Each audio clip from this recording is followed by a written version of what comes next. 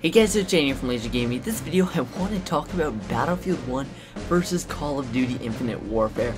I have channels for both of these games, and albeit my Battlefield 1's a lot more focused and I put a ton more effort into it, but just wanted to talk about these two games because there's a ton of stuff being thrown around talking about how Battlefield's destroying Call of Duty and all this stuff, and I really just want to give you the facts at this point and really why I personally prefer a certain game and why I think one game will be more successful than the other.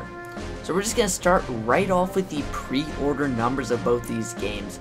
Despite Call of Duty getting a ton of dislikes on their trailer, their trailer getting less views than Battlefield's trailer, it has almost twice as many pre-orders as Battlefield 1. So Call of Duty Infinite Warfare, both of these don't count PC because they weren't even listed on the top 40, so they're both under like 10,000 pre-orders. So Infinite Warfare had 109,000 pre-orders and Battlefield 1 had 61,281 pre-orders.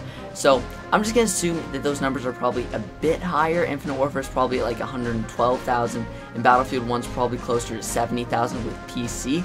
But that being said, Infinite Warfare is still way higher than Battlefield 1. So why does this happen when a game received such terrible feedback, yet it's still beating the game that people are saying is going to kill it?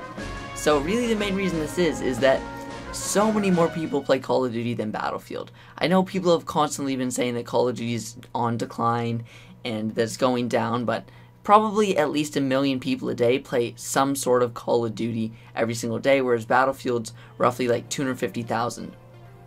And what that ultimately does is on both games, when you log in right now, there's an advertisement for either Infinite Warfare or Battlefield 1. If you go into the store, if you look at stuff, there's an advertisement for both games.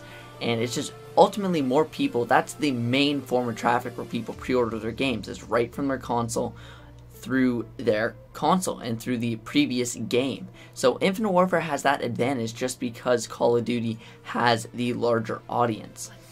Now that doesn't mean that Battlefield can't make a comeback before the launch of the, both of these games. So Battlefield's set to have a open beta for Battlefield 1 near the end of August or early September. They said sometime during the summer, and since we just finished the closed alpha, which is the footage in the background because I was lucky enough to participate in the closed alpha, since that just ended yesterday, or at least the time this recording, it just ended yesterday, I don't think they're going to have the beta right away since they haven't even announced it yet. So I'd bet end of August, early September, and Call of Duty is probably going to have their own beta in September as well. However, I bet that it's a closed beta, just like Black Ops 3.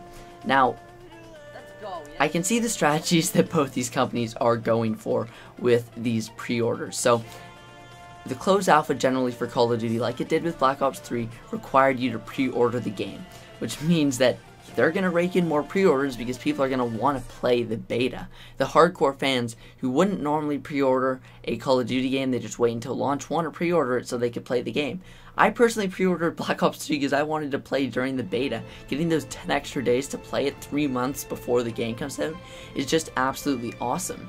Now on the other hand, Battlefield's beta is going to be an open beta, which means tons and tons of people are going to be able to play this game and if it's a good game, they're going to buy it. The problem is, is that Battlefield Hardline's beta was a bit underwhelming, and this just meant that not that many people bought the game right off launch. But Battlefield 1 seems like a great game from what I've played. And if they're able to capture an audience and persuade them to buy the game through their gameplay, they should be able to get a bunch more pre-orders and get close to Infinite Warfare. Now really the main thing that we run into is the longevity of these games. So Battlefield 1, because people are mainly buying the game for its core gameplay and the setting obviously, but mostly its gameplay, it's going to last longer because a lot of the pre-orders for Infinite Warfare are because of Modern Warfare Remastered. Modern Warfare Remastered looks absolutely awesome, but it's you required to pre-order Infinite Warfare to get Modern Warfare Remastered. So that automatically means that a ton of these Infinite Warfare pre-orders, a bunch of these people, probably 10 to 15% of them, aren't even going to touch the game. And let alone the a bunch of the other people are probably just going to play Infinite Warfare a little bit and then drop it. Battlefield 1 also seems to have a better system with DLC. While they both do a Seasons Pass sort of system and Seasons Pass or Premium, depending on which platform you come from that costs $50 and gives you all four DLC, Battlefield tends to give away more free stuff. So while Call of Duty claims that they give away free weapons through supply drops, they're not really free because a lot of people end up spending money and you can't really get them right away. Whereas in Battlefield, you get free weapons, free maps, and while this didn't happen at the start of the game, Battlefield Hardline was really a prime example, where I think they added like 40 free DLC weapons for everybody to use, and they added a couple free maps in both of those games. A bit less than I would have liked, but at least they're stepping in the right direction. Now, I'm not really going to talk about core gameplay between Call of Duty and Battlefield. I just want to talk about the core numbers here and what's going on between these two franchises at this time. Because ultimately, the core gameplay, you both know what it's like. Infinite Warfare is going to be futuristic with jetpacks and boost jumping like Black Ops 3, but maybe a bit more severe, maybe a bit less. We don't know because we haven't got a multiplayer reveal yet. And Battlefield's going to be really generic World War One gameplay, your classic boots on the ground shooter. And really, that's what those two games are offering. There's not much else I can say. It's really hard to explain how a game works and feels until you've actually played it.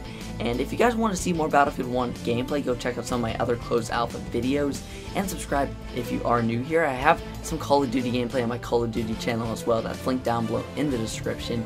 But don't forget to drop a like on the video. Tell me what you think of Call of Duty between Infinite Warfare and Battlefield 1. But I mean, obviously, don't just say the Infinite Warfare hate. Please gather your thoughts and give some logical feedback on why you think Infinite Warfare is winning if you think it's different than me. But again, drop a like, subscribe. That's what it is for video, guys. Thanks for watching, and I'll see you guys next time. Mom down, mom down on top. I'll watch it. Let's go!